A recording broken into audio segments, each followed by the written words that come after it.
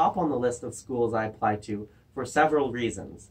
Its mission to provide healthcare to minority and underserved communities, especially to people of color and disadvantaged backgrounds, aligns very well with my professional career aspirations. I am particularly keen to be part of the excellent training that Meharry provides and to contribute to the diversity of its program.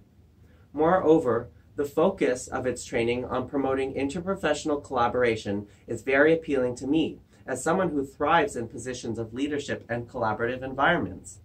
Patient centered care and serving my community are two attributes I will bring to my profession, and this is echoed by the virtues emphasized in Meharry's mission statement.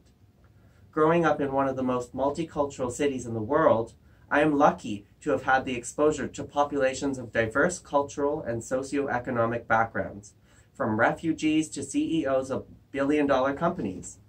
As a dentist, I look forward to providing effective, compassionate, and fair access to healthcare, leading a global health mission in Burundi, researching guided tissue regeneration in a periodontal lab, participating in oral health education campaigns in the inner city and shelters prepared me for a leading role as passionate healthcare advocate for all members of my community.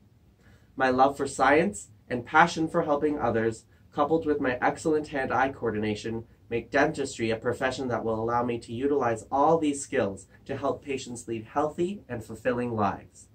I will use my passion for science to discover new biomaterials, as well as assume the position of health educator and prevention, as I have done through mentoring and teaching activities.